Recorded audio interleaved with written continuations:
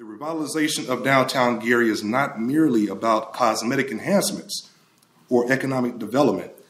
It's about fostering a thriving hub that embodies the heart and soul of this city.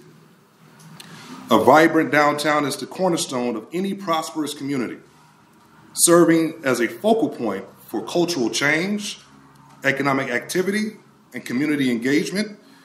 It is where memories are made, businesses thrive, and families gather.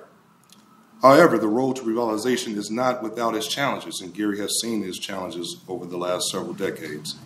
Hard Rock's mission of giving back to the community goes um, way back to 1971 when the company was first founded. Love all, serve all is one of our four mottos, and it can be found on the walls of Hard Rock properties in, in nearly 70 countries at, at nearly 240 locations. These words have been a guiding principle to all team members of Hard Rock since 1971. And since we've opened our doors in May of 2021, we have been making good on our commitment to Hard Rock's mission to give back to those in need um, in the surrounding neighborhoods, not only throughout the city of Gary, but also in all of Northwest Indiana. Hard Rock has made a commitment and is making a commitment today to support Mayor Melton's vision for the transformation and economic revitalization of the city of Gary. We're confident that by targeting the elimination of the blighted, properties that currently stand in the way, Hard Rock's decision to partner and support the city of Gary with, by supporting reinvestment, transit development, and economic revitalization efforts in downtown Gary.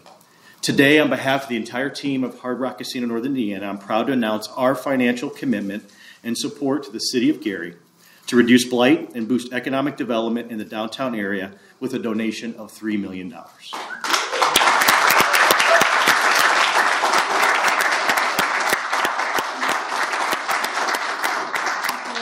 It is my honor to be here today. Very exciting, very thrilled uh, today to help launch this effort to, and I was trying to think of the right word, and I think it's to reinvigorate downtown Gary. As president of the Gary Common Council, it is a privilege to stand before you today to confirm the support of the body of the council towards the Melton's administration's Blight Elimination Initiative. The council has remained steadfast in our dedication to improving the quality of life by addressing the drastic blight currently plaguing our city.